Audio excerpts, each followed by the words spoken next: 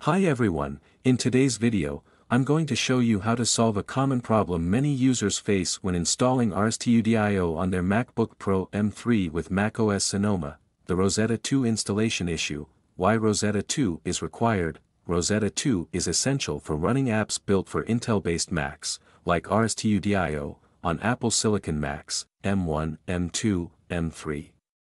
Without it, you may experience compatibility issues.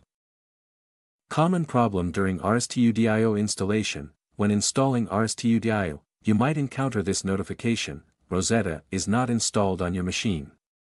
You may experience issues running RStudio, and sometimes, even if you try to install Rosetta manually, you might see another message saying, Rosetta 2 update is not available, this error can be frustrating, but I'm here to guide you through the fix.